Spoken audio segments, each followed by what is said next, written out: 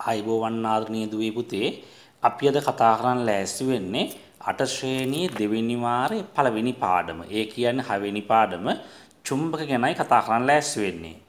ඒතර පුතේ ඔයාලට පේනවා ඇති මේ පාඩමේ තියෙනවා ප්‍රධාන අනුමාත්‍රිකා පහක්. 6යි 1 අනුමාත්‍රිකාව වෙන්නේ චුම්බකයක ද්‍රව. 6යි 2 චුම්බකයක චුම්බක ශේෂ්ත්‍රය. 6යි 3 මාලිමාව. 6යි 4 බුහු චුම්බකත්වය. 6යි 5 తాවකාලික චුම්බක හා ස්ථිර චුම්බක. එතකොට පුතේ පුතාලා මේ මා මේ කරන වීඩියෝ පාඩමත් අධ්‍යයනය කරලා පුතාලගේ අච්චුතත් හොඳට පාඩම් කරලා මේ සම්බන්ධයෙන් හොඳ දැනීමක් අරගන්න ඕනේ.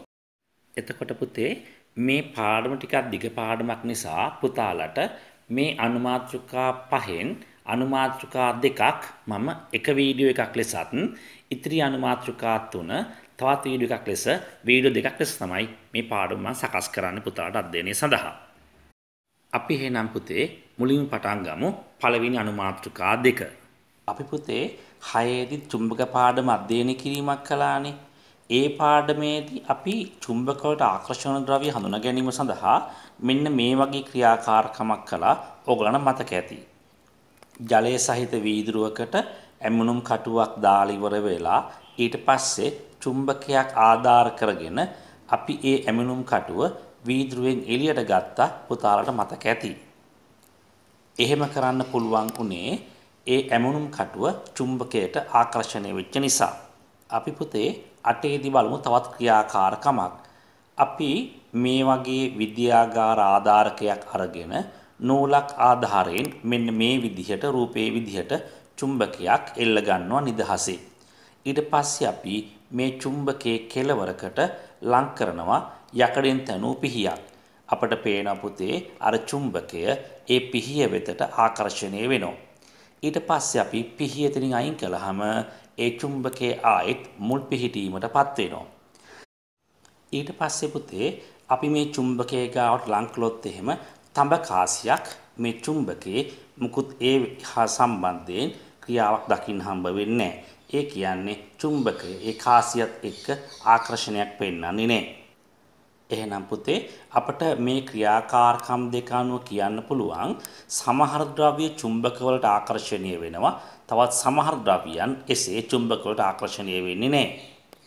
යම් ද්‍රව්‍යයක් චුම්බකයක් වෙතට ආකර්ෂණය වෙනවා නම් අපි ඒව හඳුනනවා චුම්බක ද්‍රව්‍ය කියලා. උදාහරණ ගත්තොත් එහෙම යකඩ, නිකල්, ක්‍රෝමියම් වගේ ලෝහ වර්ග සහ වාන්නේ ෆෙරයිට් කියන මිශ්‍ර ලෝහ වර්ග. අපට පාසල් විද්‍යාගාරයේදී හම්බ වෙන චුම්බක වර්ග වැඩි හරියක් වානේ හෝ ෆෙරයිට් වලින් තමයි හදලා තියෙන්නේ.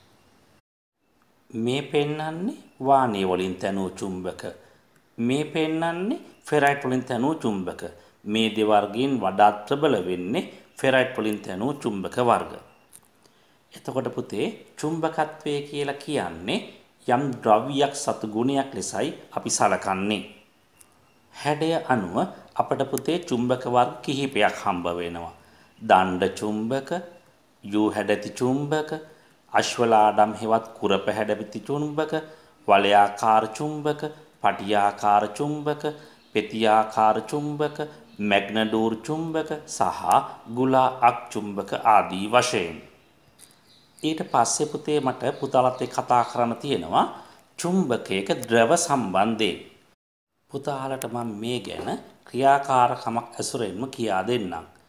අපි පුතේ දණ්ඩ චුම්බකයක් අරගෙන ඒ දණ්ඩ චුම්බකය පොලිතීන් කවරයකින් මෙන්න මේ ආකාරයෙන් ආවරණය කරගන්නවා.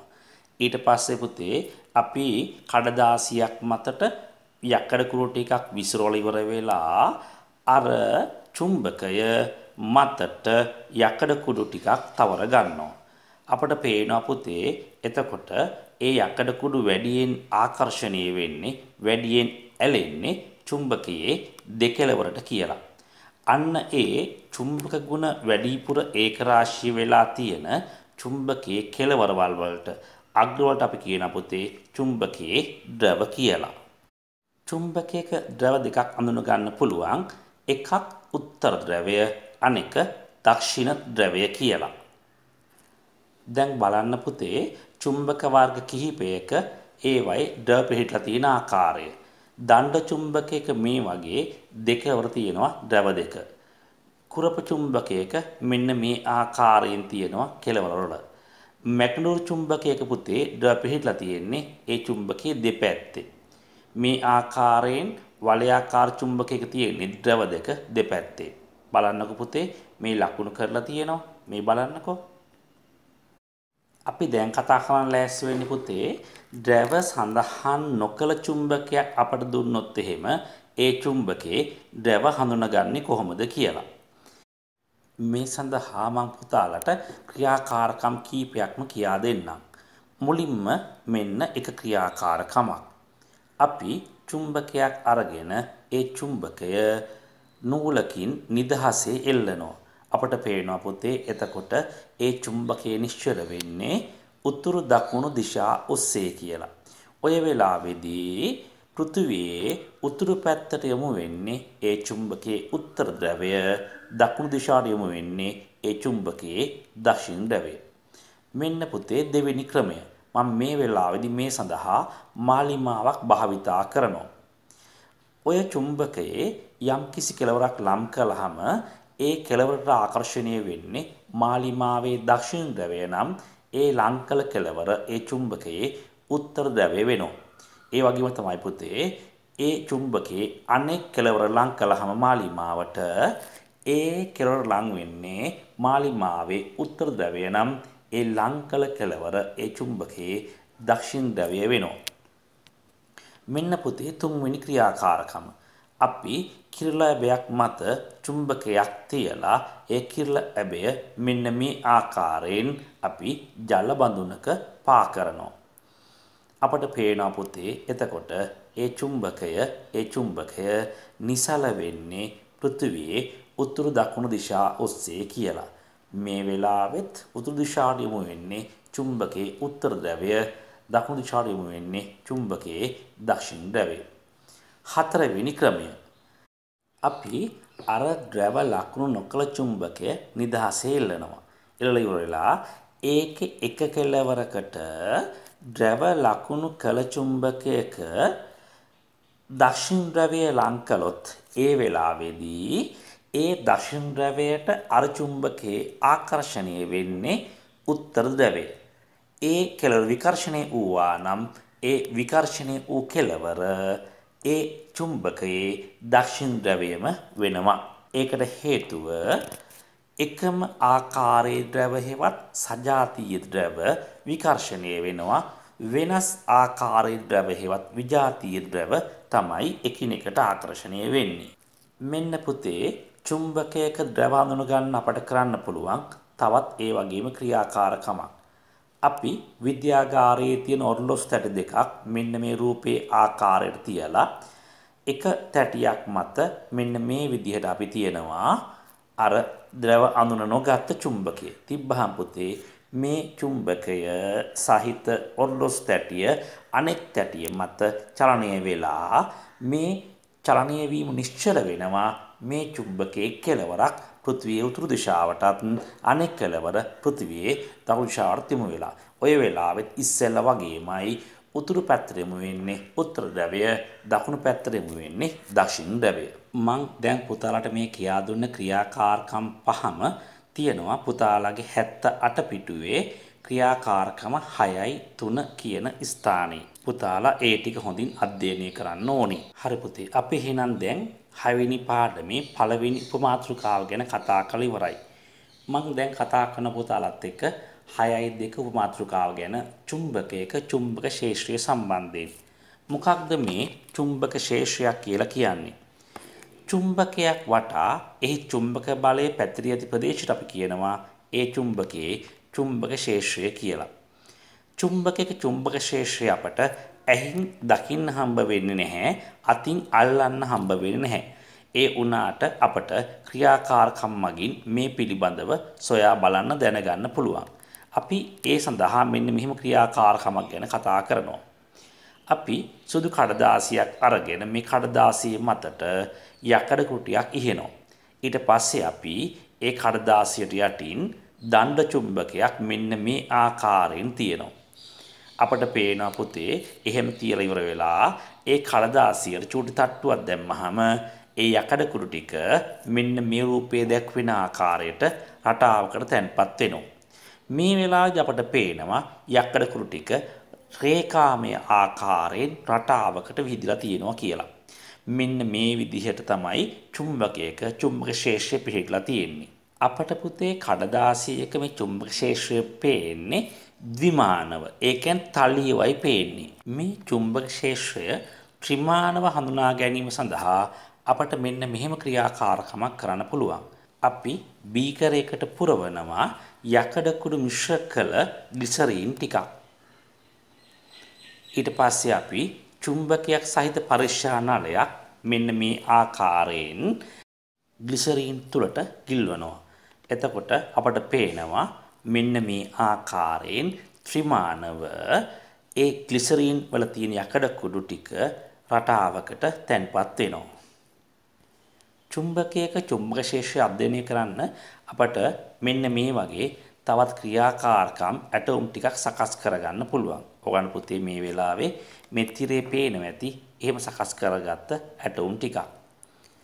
චුම්බකයක් වටා ඒ චුම්බක බලය පැතිර ඇති ප්‍රදේශයට අපි කියවන චුම්බක ශේෂ්ත්‍රය කියලා. චුම්බක ශේෂ්ත්‍රය තුල චුම්බක බලය නිරූපණය කරන්න අපි යොදා ගන්නවා චුම්බක බල රේඛා. මෙන්න මේ චුම්බක බල රේඛාවල පිහිටීම අනුව තමයි අර ඉස්සෙල්ල ක්‍රියාකාරකම් වලදී යකඩ කුඩු තැන්පත් උනේ. මේ ක්‍රියාකාරකම් වල පෙන්වන්නේ චුම්බක බල රේඛා අධ්‍යයනය කරන්න කරපු තවත් ඒ වගේ ක්‍රියාකාරකම් කිහිපයක්. අපි දැන් අධ්‍යයනය කිරීමක් කරමු චුම්බකවල ද්‍රව අතර කොහොමද චුම්බක ශේෂ පිහිටන්නේ කියලා. අපි ගන්නවා මෙන්න මේ ආකාරයෙන් රෙජිෆෝම් එහෙමත් නැත්නම් ස්ටයිරෆෝම් පෝරුවක්.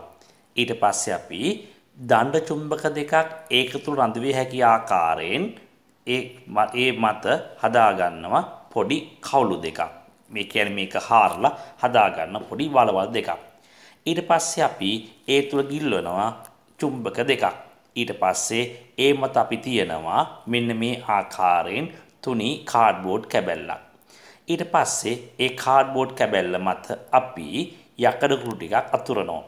ඊට පස්සේ අපි අර කාඩ්බෝඩ් කැබැල්ලට හිමින් සැරේ තට්ටු කරනවා.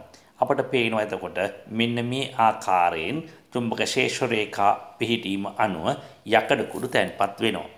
ඔයාලා පුතේ චුට්ටක් මේ වීඩියෝ එකේ ආපස්සට ගිහින් බලන්න මං මේ වෙලාවේ මේ රිජිෆෝ බෝඩ් එකේ ගිල්ලුවේ චුම්බක දෙකේ එකම ಜಾතිය ද්‍රව හෙවත් සජාතිය ද්‍රව එකට පිහිටන ආකාරයට. අපි ඊට පස්සේ තවත් කාඩ්බෝඩ් කැබැල්ලක බයින්ඩර් ගම් හොඳට තවරලා ඒ කාඩ්බෝඩ් කැබැල්ල අර යකඩ කුඩු මත යටිකුරු කරලා හොඳින් පිරිමැදලා ඒ කාඩ්බෝඩ් කැබැල්ල අහකට අරගන්නවා.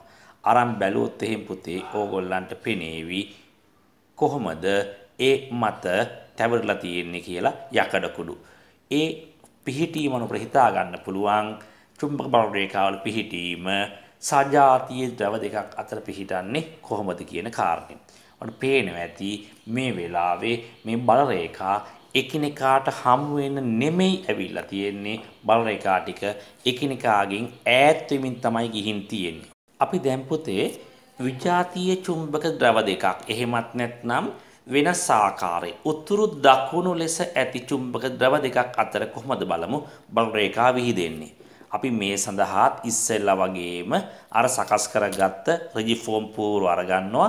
මම පේනති පුතේ මේ වෙලාවේදී මේ චුම්බක දෙකේ එකිනෙකාට මුහුණ දීලා තියෙන්නේ එකක් උත්තර ද්‍රවය අනෙක දක්ෂිණ ද්‍රවය. එහෙමත් නැත්නම් මේ වෙලාව පිහිටන්නේ විජාතීය ද්‍රව. අපි ඉස්සෙල්ලා වගේම පුතේ මේ ද්‍රව මත මේ චුම්බක මත කාඩ්බෝඩ් කැබැල්ල තියලා ඒ මත යකඩ කුඩු ඉහලා ඉස්සෙල්ලා වගේම බයින්ඩර් ගම් තැවරූ කාඩ්බෝඩ් කැබැල්ලක් මේ මත යටිකුරු කරනවා. යටිකුරු කරලා ඊට අපි ඒ කාඩ්බෝඩ් කැබැල්ල අරන් බලනවා. බලන්න පුතේ මේ වෙලාවේ කොහොමද යකඩ කුඩු ටික විසිරලා තියෙන්නේ කියලා ඔන්න පේනවා ඇති. මේ වෙලාවේදී මේ යකඩ කුඩු විසිරීම අනුව මේ චුම්බකවල ද්‍රව දෙක අතර අර වෙනස් වර්ගයේ ද්‍රව අතර ඒ චුම්බක බල රේඛා එකිනෙකාට ඈත් වෙමින් නෙමෙයි එකිනෙකාට මුණ ගැහෙන ආකාරයෙන් තමයි බල රේඛා විහිදලා තියෙන්නේ. පුතාලා මේ රූපය අධ්‍යයනය කරන්න කලින් රූපයත් එක්ක කොයි වගේද කියලා ඉස්සෙල්ලා බල රේඛා ඈත් වෙමින් විසරණය වෙමින් විකර්ශණය වෙමින් ගමන් කළා මේ වෙලාවේ ඒ ද්‍රව දෙක අතරේ බල රේඛා එකිනෙකාට ආකර්ෂණය වෙමින් තමයි පිහිටලා තියෙන්නේ. එහෙනම් පුතේ ඕගොල්ලෝ දැනන් ඉන්න ඕනේ චුම්බකවල ද්‍රව අතර කොහොමද ඒ චුම්බක බල රේඛා පිහිටන්නේ කියලා. එකිනෙකාගෙන් විකර්ශනීය වෙමින් ඈත් වෙමින්ද එහෙමත් නැත්නම් බල රේඛා එක් ද්‍රවයකින් අනෙක් ද්‍රවය කරා ආකර්ෂණය වෙමින්ද කියලා. එහෙමනම් පුතේ චුම්බකයක ද්‍රව සහ චුම්බකයක චුම්බක ශේෂ්ත්‍රය කියන ඒ අනුමාත්‍රා දෙක තමයි අපි දැන් මේ කතා කරලා අවසන් කළේ. එහෙමනම් පුතේ මම ඉතිරි මාතෘකා ටික කතා කරනවා පුතාලත් එක්ක තවත් වීඩියෝ එකකින්. එහෙමනම් මේ දක්වා ටික පුතාලා හොඳින් අධ්‍යයනය කරන්න ඇති කියලා මං හිතනවා. එහෙමනම් පුතේ ඔක්කොටම ආයිබෝවන්